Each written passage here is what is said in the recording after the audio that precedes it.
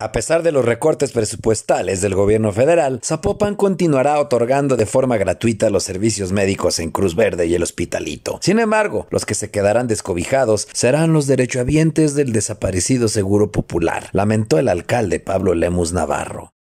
En el Hospitalito, eh, por poner un ejemplo, nosotros recibíamos eh, enfermos de otros municipios eh, incluso de otros estados de la República, pero que estaban afiliados al Seguro Popular.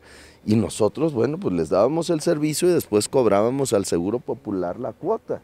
Así de sencillo. Ahora el Seguro Popular nos dice, ya no habrá más, el gobierno federal cancela este programa, pero no nos dice cómo lo va a sustituir. Todas estas personas van a quedar desprotegidas. La semana pasada, Lemus Navarro lamentó la desaparición del Seguro Popular y el hecho de que Zapopan pierda 60 millones de pesos que el gobierno federal otorgaba al municipio para esta atención médica de los derechohabientes. Nosotros los de Zapopan no. Nosotros los de Zapopan, Cruz Verde, Hospitalito, nosotros vamos a seguir sin cobrar estos servicios, solamente que haya alguna cuestión adicional, no sé, por ejemplo, en uh, una fractura que haya que comprar eh, algunos tornillos o placas, cosas por el estilo, algunos aditamentos, eso es lo que se cobra.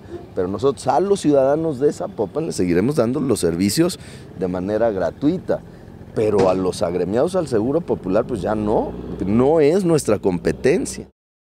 Con imágenes de Gibran Albín para señal informativa, Julio Ríos.